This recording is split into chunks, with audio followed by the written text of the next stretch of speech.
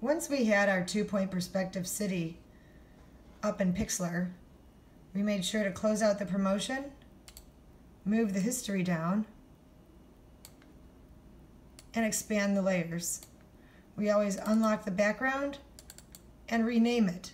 We're going to rename this City Background.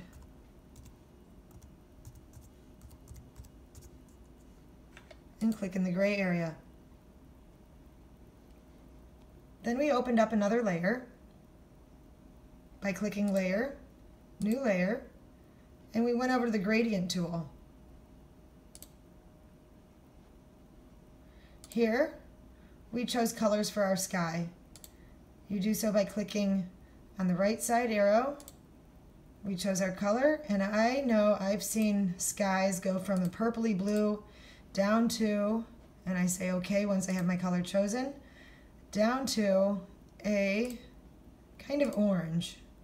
So I go into the orange zone and I choose that and you can see what it's going to look like up here. That's too dark. Maybe I'll go a little more into the red area here. There we go. That's the color I like, so that is what I'm going to go with, and I say OK.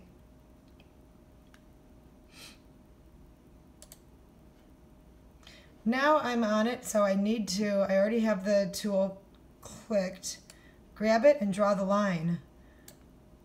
And there's the gradient that I chose, from a dark purple down to like a melon orange.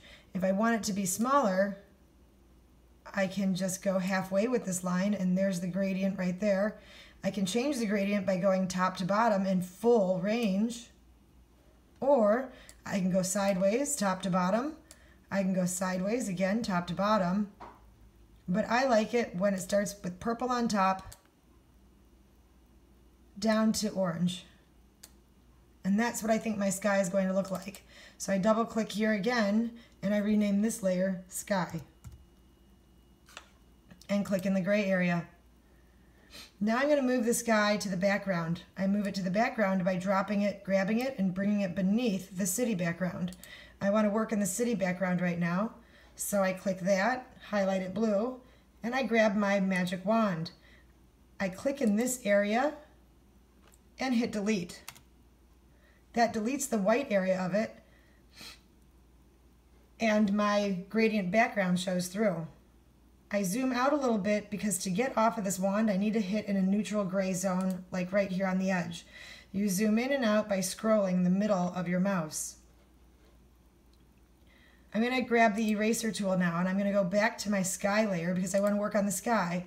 And I am going to grab a star and I giggle a little bit because I want to make the large dipper.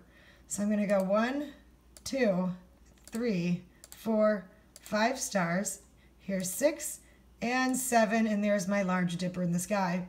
I'm then going to change my star probably to this one over here and now I can come back and add a whole bunch of other stars. And all I'm doing is erasing.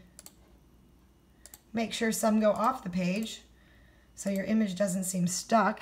And make sure some go down behind the horizon line and behind the buildings. There we have. In order to save this image like we did yesterday, I want to make sure it's highlighted on the bottom layer. It says city background. I get to a neutral tool, which is a move tool. I go up to File, Save, and I'm going to change the name of this. I have to wait until it says OK, and then I'm going to change the name of this to City in Perspective, or City in Progress.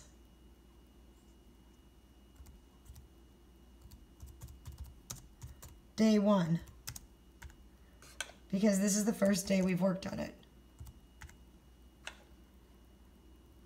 I change my format from a JPEG, which squishes the image together as one flat image, and I want to keep these layers over here.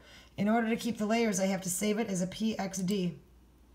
So I change the format to PXD. It says working, please wait, so I wait.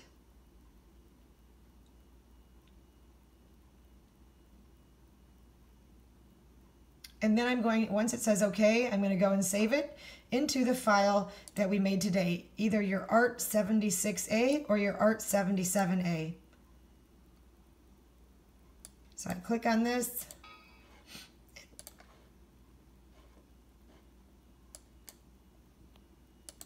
And hit save. Your image is saved and you are now ready to close out of Pixlr Editor. Leave the page and you may X out and log off for the day.